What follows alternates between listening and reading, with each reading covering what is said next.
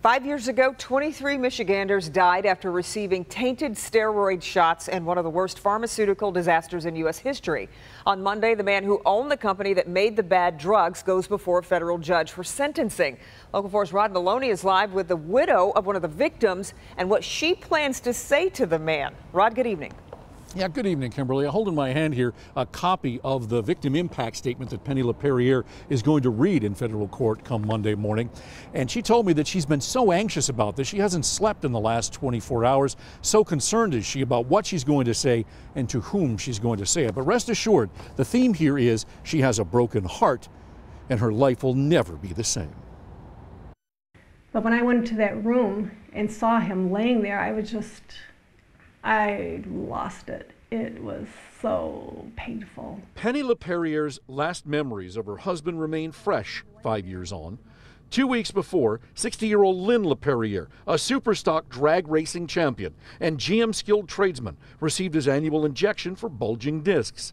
Balance troubles and crushing headaches sent him to the hospital, where he died of fungal meningitis. It was so preventable. A jury found this man, Barry Cadden, former CEO of the now defunct New England Compounding Center near Boston, guilty of wire fraud and racketeering. He'd still be alive if it wasn't for him.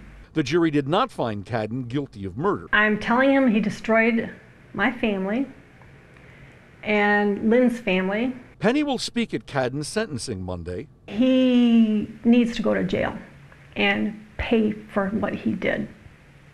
Then there will be some just rewards for Lynn dying, I guess. He needs to pay for what he did because he knew what he was doing was wrong. Prosecutors are asking for 35 years in prison. He never said he was sorry, you know. Um, and I just think he thinks he could get away with it. Now, Penny said that she has been in the process of slowly rebuilding her life, and she seems to be doing okay. That's what she told me. She said she's bonded very closely with the families, uh, particularly of the Michigan victims of this, the people who died and also the people who lived and went through this horrifying experience. And she said that she absolutely hopes that he gets the 35 years the prosecution is asking for because essentially she says he deserves it. Back to you. And if he does, do you think, uh, Rod, that will give her some closure regarding her husband's death? I know she'll still have a broken heart, as you mentioned, but right. do you think it'll give her a little closure? It'll give her some closure, but here's the problem.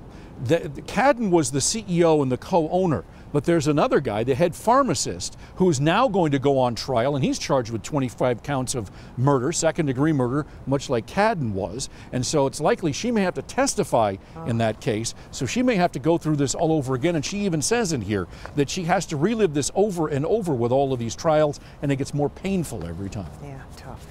Okay, Rod, keep us posted. Thank you.